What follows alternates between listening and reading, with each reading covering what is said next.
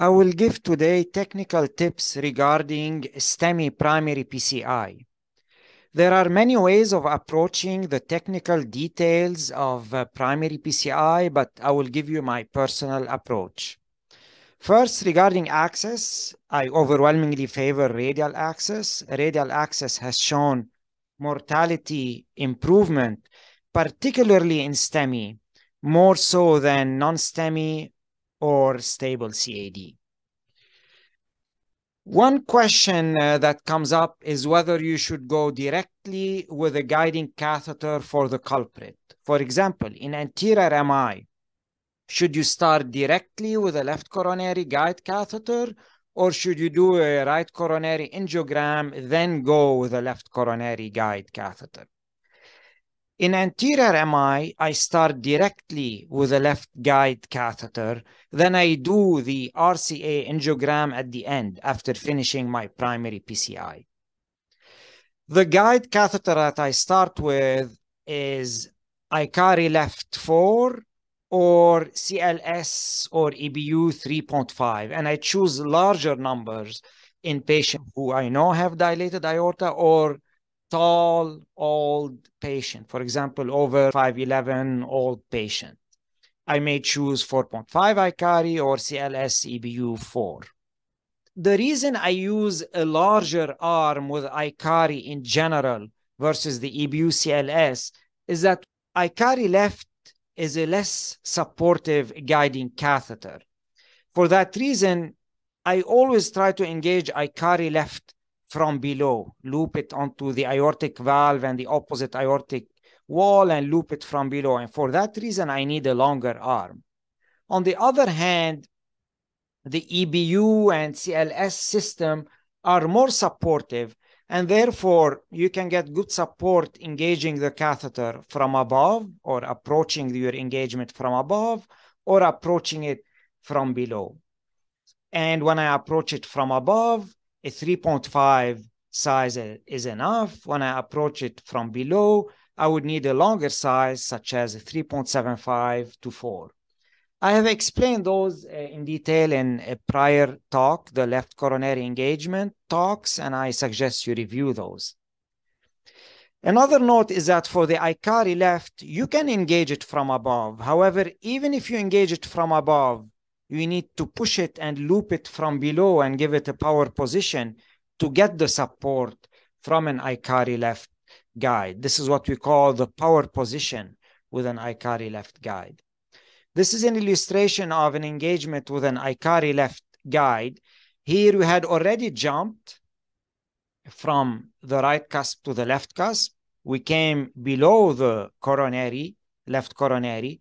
We tried to engage from above by pulling the catheter and going in with a clock maneuver. It didn't work, so we pushed it back and engage from below. And you can see how we engage it. This is a perfect power position looped on the opposite aortic wall and on the aortic valve. Now, had we been able to engage by simple pull, engage it from above by simple pull with a clock, even if you engage from above, you push the catheter to give it a power position and get the support from an Ikari left. This is not necessary with an EBU CLS system. Engaging from above gives you good support. It's a more sturdy, stiff, and robust catheter. And that's why I usually start with a smaller arm with an EBU CLS system than with an Ikari left. Now, how do I approach inferior MI and posterolateral MI. In inferior MI, the culprit is the RCA 75% of the time and the left circumflex 25% of the time. Meaning, you don't need to have a dominant left circumflex for it to give you an inferior MI. An infarct involving a low obtuse marginal branch can give you inferior ST elevation even if the PDA is not involved, even if the left circumflex doesn't give a PDA. The way I approach those cases, unlike anterior MI, in those cases, I try to do a full angiogram before I perform PCI of the culprit. And the way I do it, I start with the angiogram of the less likely culprit artery. For example, if I suspect RCA culprit, I start with an angiogram of the left coronary artery, left circumflex. Then I go with a guiding catheter for the RCA. And I do usually use in those cases Ikari left 4. So I go with an Ikari left 4 I engage the left coronary artery, if I think that's not the culprit, with the Ikari left 4, then I disengage and I flip it and I try to engage the right coronary artery with the same Ikari left 4 and I do PCI of the RCA with that same Ikari left 4. So I use one guide catheter to do angiogram of the left and to do intervention of the right or vice versa to do angiogram of the right and to do PCI of the left circumflex in an inferior MI. This way, I limit my catheter exchanges. The important idea here is that Ikari left is a, a great left coronary guide, but also it is an excellent right coronary guiding catheter. And if you're good at using it, that can save you a lot of time. This is, for example, a case where we use the Ikari left to engage the left coronary artery, but we also use the Ikari left to engage the right coronary artery. So again, the Ikari left, not right, the Ikari left is a great guide for the RCA as well, not just the left coronary artery. And the way I would use it to engage the RCA is kind of the same way I would use it Judkins right. We go, we touch the right coronary cusp, we pull with a clockwise maneuver and engage. You need to keep a pull tension on that Ikari left because it tends to point up. So as you're pulling and clocking, you need to pull typically more than you would pull when you're engaging with a Judkins right catheter.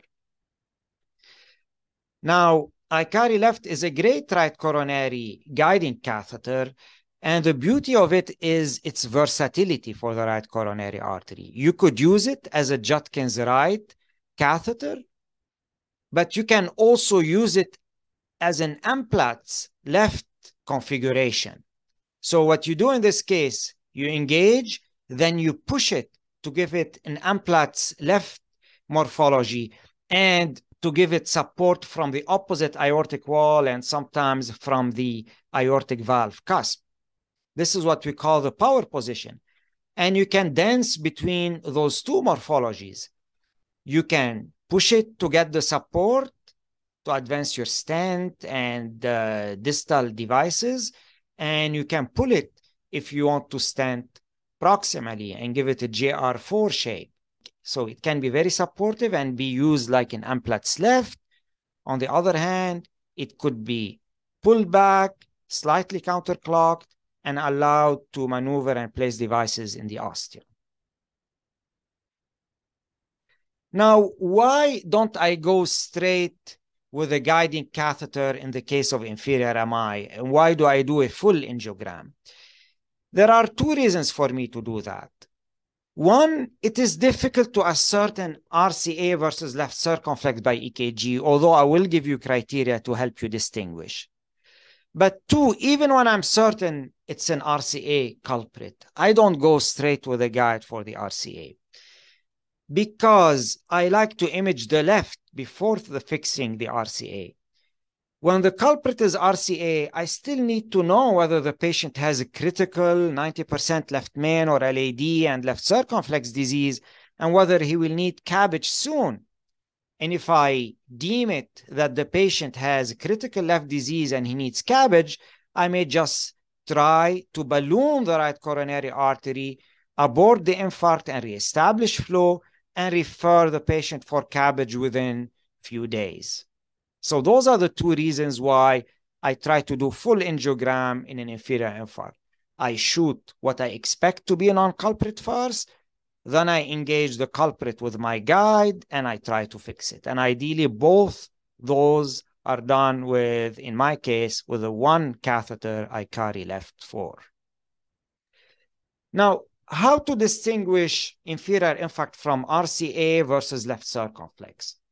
When you have an inferior MI, the vector of injury is actually a bit different between the RCA and the left circumflex. The vector of injury in the case of RCA looks toward the right, whereas the vector of injury in case of left circumflex looks toward the left. And those differences in the vector uh, of injury translate into some difference in EKG features. In particular, there are four differences between the RCA and left circumflex infarct. One easy one is the lateral leads. So if you have ST depression in both leads 1 and AVL, it is an RCA infarct. If you have ST elevation in both 1 and AVL, it is left circumflex infarct. The problem is that not uncommonly you have discrepant findings between 1 and AVL. In particular, you can have ST elevation in 1 and ST depression in AVL. And in this case, it's inconclusive whether the infarct is RCA or left circumflex. The vector in this case is almost vertical in the middle, so we can end up with ST elevation in one and ST depression in AVL with both RCA and left circumflex. Okay. Now, another feature that we use is AVR. So left circumflex injury is completely opposite to AVR. So if you have pronounced ST depression in AVR, it's highly, highly likely that you have left circumflex infarct. However, if you have borderline ST depression around one millimeter or mild ST depression, then it is difficult to tell. So, but pronounced ST depression tells you the infarct is in left circumflex. A third and extremely important feature is RV infarct. So if you have ST elevation in lead V1 or in the right-sided lead V4, this implies RV infarct and this implies definitely RCA. This is a very specific finding for RCA. Keep in mind, you don't need to do right-sided leads. ST elevation in V1 plus or minus V2 in a patient with inferior infarct, this is an RV infarct. And this tells you it is an RCA, not left circumflex. Now, what confuses those EKG feature and the picture, furthermore, is that sometimes you have an RCA culprit with a left circumflex CTO or vice versa. And in those cases, you can have left circumflex EKG criteria, even with an RCA infarct and, and vice versa. So whenever you have that situation, how can you tell which one is the culprit? Is it the RCA or the left circumflex? So one, the EKG features remain helpful, although less so, and there is more overlap in those features. Two, collaterals. Having grade 3 collaterals to one artery implies that this one artery is likely the CTO, while the other one is likely the culprit. So grade three collaterals mean robust collaterals wherein you see reconstitution of the major epicardial vessel. Those collaterals take at least two weeks to form uh, based on some data. However, occasionally you can have them in an acute infarct if it was preceded by a chronic 90-95% stenosis. So grade 3 collaterals do not absolutely tell you this is a CTO. It can be the acute culprit, but it makes it much more likely in a patient with two occlusions, it makes it much more likely to be the CTO rather than the culprit. Another feature, uh, angiographic feature, is a round filling defect or contrast stain. Either one of those two implies a clot, fresh clot and it implies that this is likely the culprit. In case your artery is fully occluded, the round filling defect will appear like a luminal concavity, a concavity of that lumen on this side. And the dye stain is another feature also of fresh thrombus. Now, if the occlusion is not complete, having what we call an eccentric irregular subtotal occlusion with, an, with overhanging edges and reduced flow implies this is an unstable stenosis. So this is the stenosis. It's not hourglass, it's sharp at the edges, has acute angles at the edges, not hourglass, and it's irregular, eccentric with reduced flow.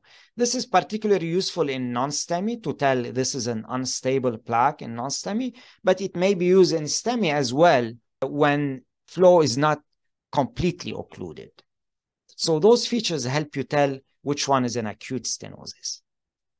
The last thing is if you cannot figure it, figure it out, uh, you suspect the RCA is the culprit, you try to wire it, if you're unable to cross it with a simple polymer wire, so let's say you don't cross it with the workhorse wire, BMW wire, you try a soft polymer wire, such as whisper wire, and you still cannot cross it within a couple of minutes, then you start suspecting this is maybe the CTO and the other vessel is potentially the culprit. So those are the four features I use when I have occlusion of both arteries.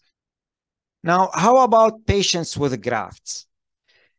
In graft patients, I generally do full diagnostic angiogram before PCI. If I suspect vein graft occlusion, for example, the patient has inferior infarct and I suspect occlusion of a vein graft to RCA, I generally save that vein graft for last and I engage it with a guiding catheter to save one step. Now, what access do I use? We frequently use femoral approach. However, I do consider left radial approach in specific cases when the graft anatomy is known, especially if the graft anatomy is known plus one of those two additional features. I have access to a prior venous graft angiogram, and I can see where those grafts are located on the aorta. Or I don't have access to a prior angiogram, or the patient never had a graft angiogram, but I know that he has one or no left vein graft. And the left vein graft is not suspected to be the culprit. Remember, left vein graft is the most difficult artery to engage in a patient with a graft.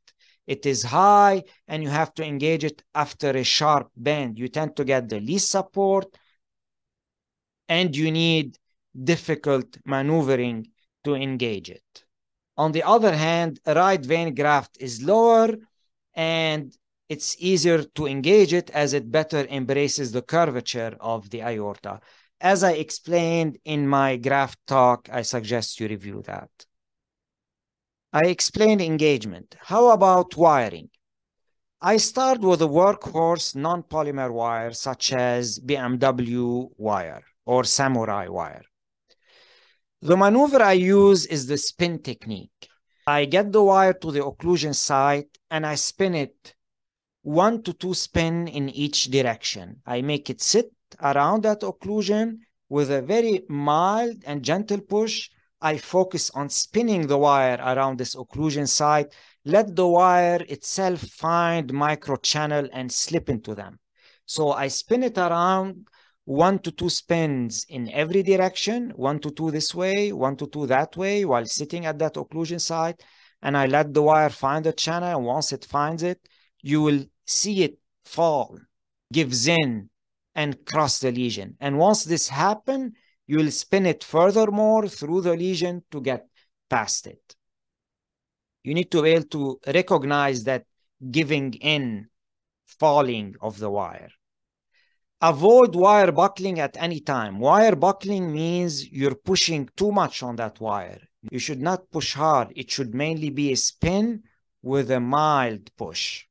If you buckle, you risk dissecting, and in that case, it will be very hard to redirect your wire into the true thrombus and the true intima.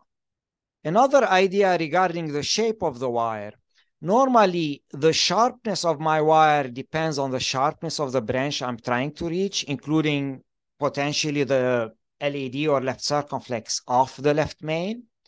And the length of my wire tip depends on the size of the main branch. Specifically in STEMI, if I can, I try to keep my uh, shape, my angle, somewhat shallow and somewhat short to avoid that wire from drilling around the edges, to stay centered and try to find microchannel inside the center of that thrombus. Now, if the left main angle into the LAD or left circumflex culprit is sharp, I may have to put a sharp and long tip. But in general, I try to favor a shallower and smaller tip.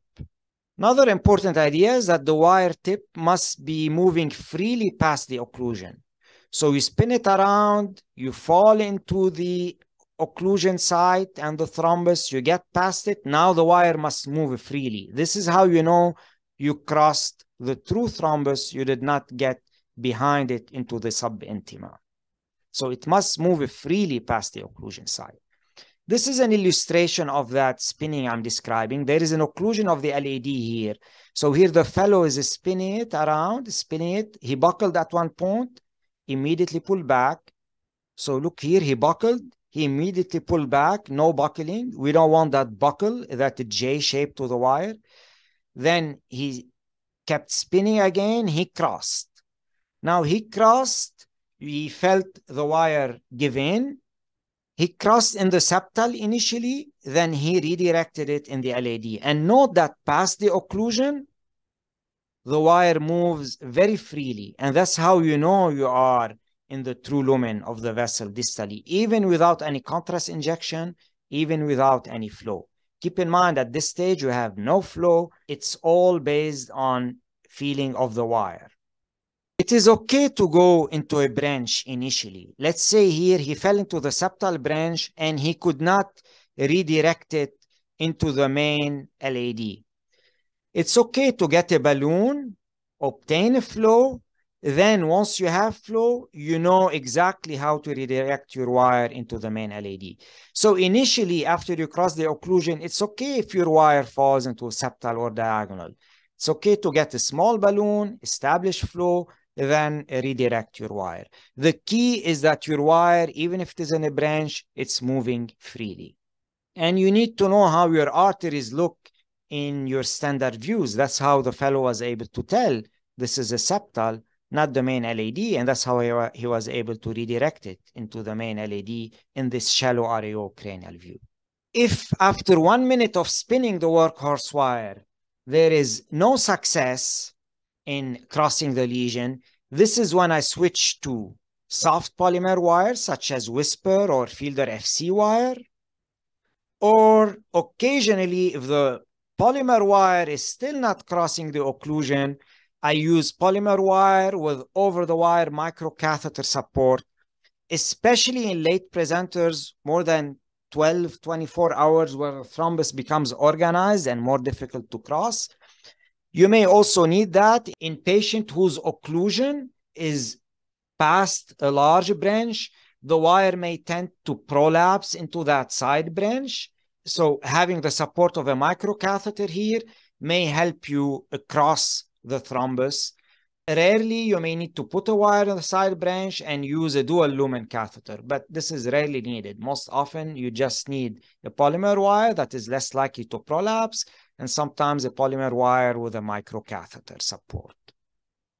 Now, after wiring the occlusion, we do balloon dilatation, usually downsized about half millimeter compared to the proximal reference angiographically.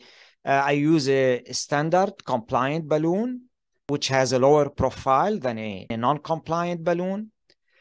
Then, if needed, I may readjust my wire position. If it was in a diagonal or septal or small branch, I readjust it into the main vessel. Then I stent.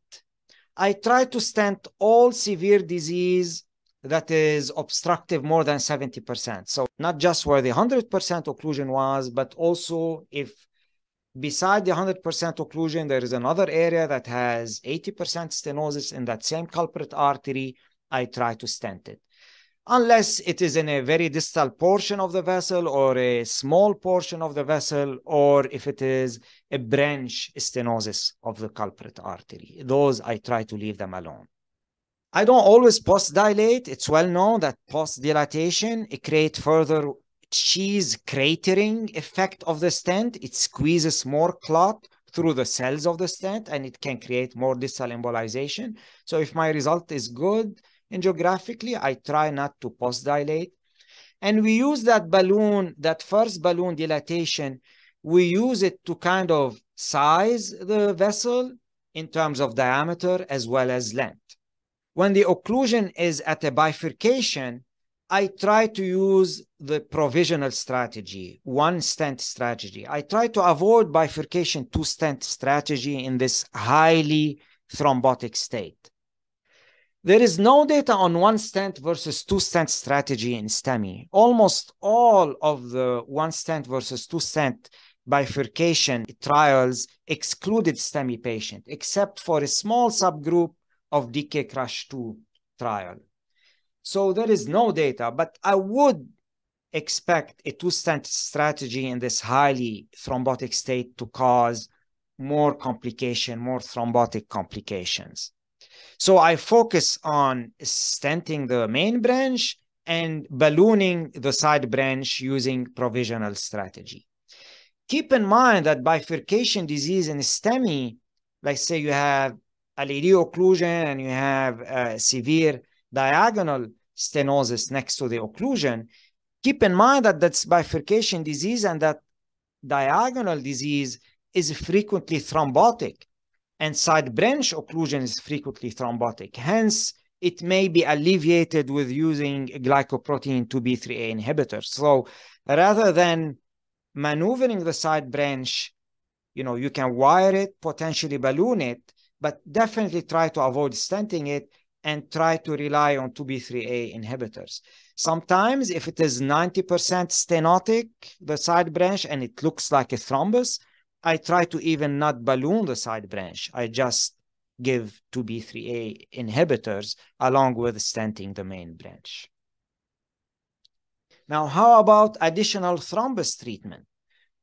In patients with heavy thrombus burden, such as long thrombus and or distal emboli and or large, large side branch emboli, like I just described, particularly assessed after initial ballooning. After you initially balloon, you can better assess the thrombotic burden. So if you see a heavy thrombus burden, and the patient's age is less than 70, 75, especially if you're using radial access. If, if you have those three conditions, especially the first two, then consider 2B3A inhibitors, which are used in 20% of modern STEMI trials and registries. The 2B3A inhibitors, eptifibatide, may be administered in, intravenously or intracoronary. Try to administer it intracoronarily distally via dual lumen catheter, such as a twin pass catheter in patients with a slow coronary flow, as I explained in my STEMI part two talk. Avoid routine mechanical suction thrombectomy in STEMI. It's given a class three in the ACC guidelines based on the large total trial where routine mechanical thrombectomy in STEMI increased the stroke risk. However, you may selectively use mechanical thrombectomy, particularly that penumbra catheter, which is popular in the US, in heavy, long thrombus burden, especially if the patient has high bleeding risk and is not a candidate for 2B3A inhibitors, such as age over 75 and femoral access. Penumbra device is a suction catheter. It's a monorail suction catheter attached to a continu continuous vacuum suction motor. So this allows for a more robust and more consistent suction power during the procedure rather than a syringe suction with the old devices. So it is more effective than the old devices in reducing the clot burden and maybe in decreasing the risk of retrograde embolization in the aorta and stroke. However, there is no large trial of penumbra and there is actually no large data of penumbra. So be careful. And I would reserve it for cases where I cannot use 2B3A with heavy thrombus burden. Another adjunctive treatment is local intracoronary vasodilator and or local distal 2B3A inhibitors for slow flow, TIMI1 or TIMI2 flow despite resolution of epicardial stenosis. And this is done via a distal dual lumen catheter. Consider IVUS or OCT as in all PCIs. However, major imaging trials did not include acute STEMI, and beware of excessive post-dilatation in STEMI, because excessive post-dilatation cause cheese grater effect and squeezing of clot from behind the stent into the stent lumen and distal embolization. And keep in mind that IVUS and OCT generally make you want to post-dilate and make you want to further expand your stent. So, you know, that's why I don't universally use IVUS and OCT in STEMI. And I may feel content with just angiographic assessment. Now, how about the LV? I do small volume LV gram in a patient with shock, especially shock with inferior MI, where you have to absolutely rule out mechanical complication. In those cases, I actually start with an LV gram. Inferior MI with shock, I may either do a quick bedside echo before a catheterization, or if we haven't done that, I would start with a small volume LV gram to rule out mechanical complications. I do LVEDP in all patients, for example, with the same Ikari left catheter. In stable patient, I do it at the end of the case after I finish my PCI and my angiogram. I would do it early on if the patient is unstable or if he is hypoxemic to decide about support and about diuresis. And like I said, if the patient is unstable or hypoxemic with an inferior MI, I would favor starting with not just LVEDP, but an LV gram before I do my PCI and my uh, full coronary angiogram. Now, how about STEMI with a pre-shock and shock? How to approach that? I would do radial access if the patient is in pre-shock or shock on small inopressor doses, such as shock stage C. If severe shock on high inopressor doses, this, the shock stages D and E, then I would favor femoral access simply because in those patients, the radial artery will be small and spastic, will be difficult to access, and will be difficult to maneuver your catheters. So femoral access has two advantages in shock patients, particularly, again, severe shock. One, the radial artery is spastic and difficult to access and maneuver in those patients. Another possible advantage is if LV support is placed at the end of PCI in mild shock that deteriorates during PCI, that same femoral access may be used to put your balloon pump or your Impella. But this is unpredictable. I would not do femoral access saying that, okay, I'll do femoral access because at the end of the case, I want to put balloon pump or Impella. This is unpredictable. I make an upfront decision at the beginning of the case. If he's a stage D or E, I think he needs support device. I will put it up front. I will do femoral access for the Impella and balloon pump and femoral access for my PCI. Uh, sometimes you can use the same access for Impella and for your PCI the single access through the 14 French Impella sheath, particularly in patients who are not very tall. Conversely, if I decide that the patient doesn't need support device, I want to go with my PCI, then I would favor going radial in that case. And if the patients deteriorate, then I would put support device at the end. But there is a good chance that the patient is not going to deteriorate and I will not need to do any femoral access on that patient. Now, if the patient is in distress when they are in pre-shock and shock, the patient is in distress and in moving around, it's a problem for usually for both radial and femoral. So that by itself is not an incentive for me to go femoral rather than radial. Those, those are the ideas I use to decide. Now, if you need support device before PCI and a patient who's very unstable, then you can use femoral access for the support device. You can use radial access as your second access for PCI to spare you from a second femoral access. But again, those patients usually have severe shock and radial access is difficult because of the radial being spastic.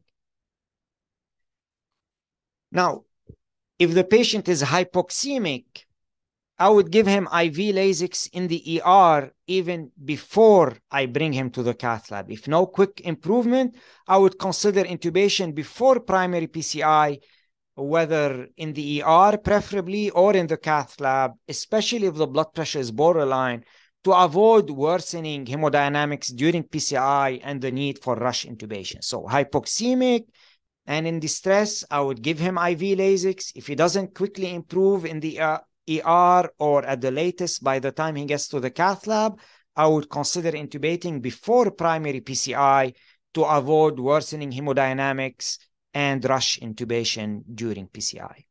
If he is shock stage C on one inopressor, small or medium dose, I would start my case with an LVEDP and IV Lasix, which I might have given in the emergency room if the patient is hypoxemic.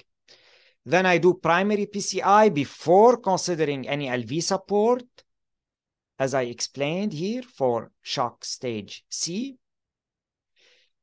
I consider LV support at the end of the procedure depending on how hemodynamics evolve, but the answer is most often not, based on that IABP shock 2 trial and based on the ESC guidelines. So most often not versus occasionally balloon pump versus occasionally Impella CP.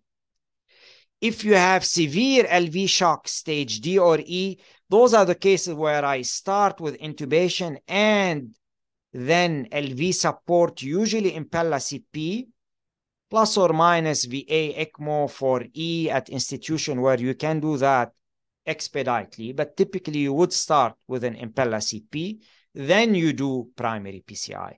So be careful with that sequence and don't forget the idea of intubation before PCI in patients who are hypoxemic and who do not improve quickly. And intubation probably before LV support device in patient with advanced shock. These are the guidelines regarding balloon pump. The ESC guidelines recommend against placing balloon pump in patient with cardiogenic shock and no mechanical complication. This is based on IABP shock 2 trial.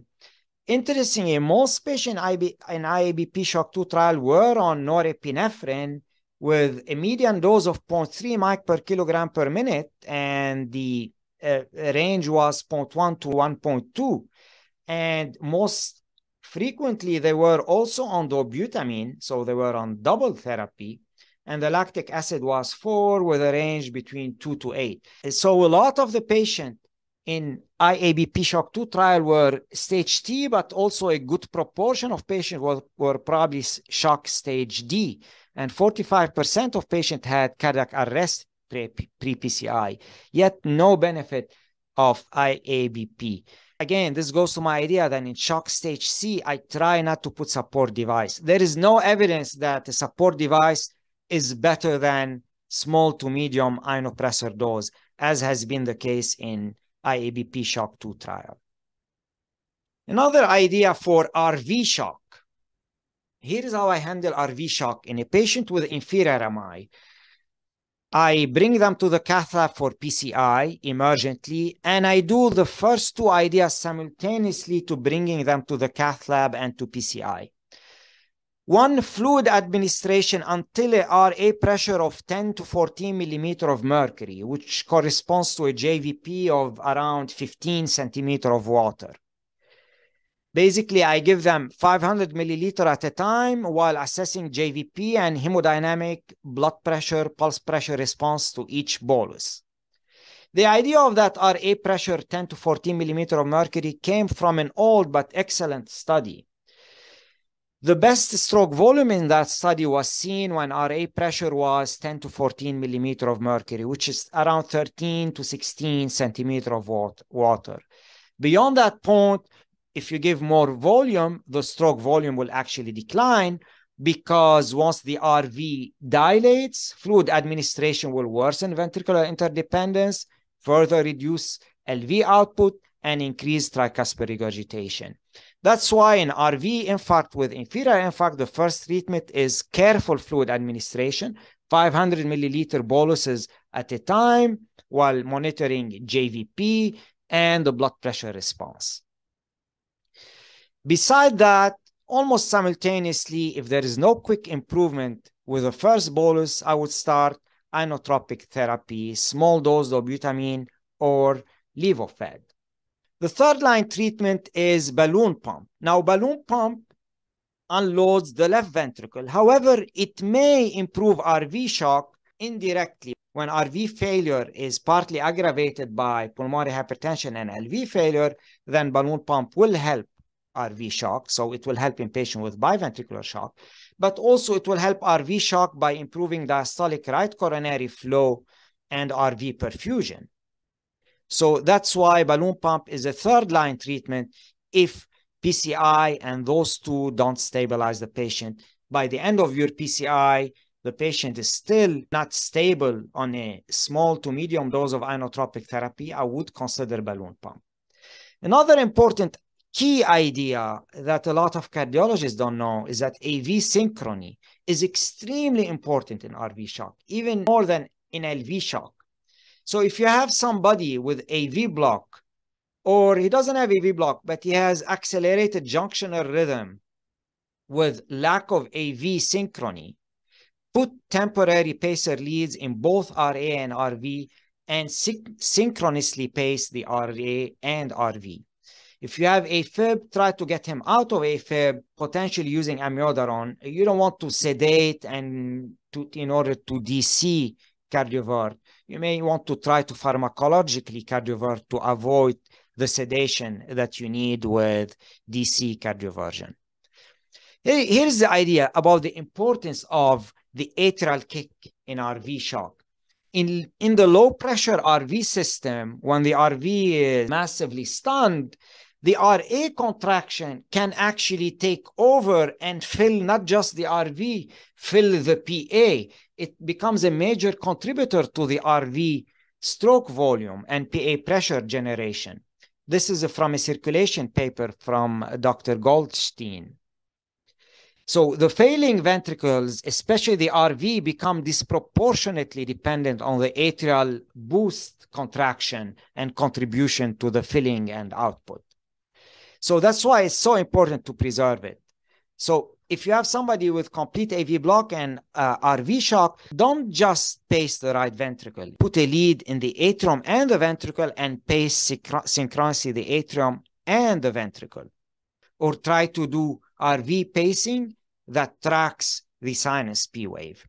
In those patients, you need a higher rate anyway so it's good to pace both the atrium and the ventricle at a rate about 100 beats per minute, 110 beats per minute. If they are in accelerated junctional rhythm, then you try to pace the right atrium and right ventricle at a rate usually faster, just to ensure AV sequential pacing. Now, of course, like I explained last time, if you have complete AV block, but the patient doesn't have shock, then you know, you may not even need to pace the patient at all. I'm specifically talking about RV shock.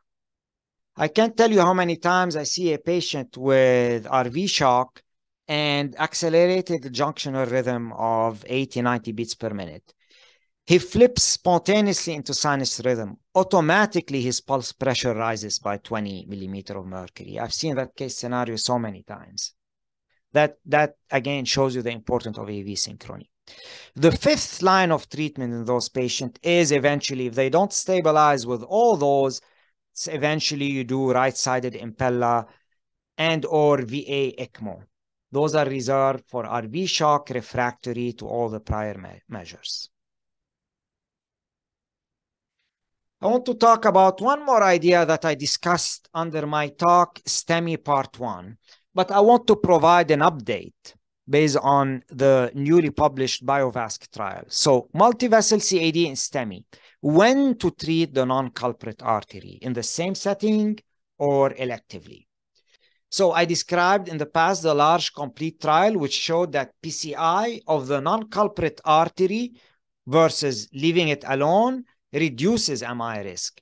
Non-culprit artery in that study was performed as a separate procedure before discharge or within six weeks of discharge. And other studies, those two here have performed non-culprit PCI in the same procedure and showed that it was beneficial versus no PCI at all.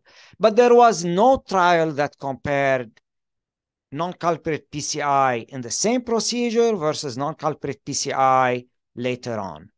Finally, we have such trial. It was presented at ACC and published in Lancet. It's the BioVasc trial. It's the only study that compares non-culprit PCI in the same setting as culprit PCI versus separate setting. So they took STEMI patients, but also non-STEMI. Actually, close to 60% of patients in that study were non-STEMI. And they showed that doing non-culprit PCI in the same setting as culprit PCI is non-inferior to staged PCI. And in fact, doing it in the same setting was associated with numerically less myocardial infarction, no difference in mortality. So there was numerical superiority of immediate multivessel PCI versus a stage non-culprit PCI. Particularly on subgroup analysis, particularly in non-STEMI, in patients with normal renal function, and in patients with a total contrast use less than 220 milliliter.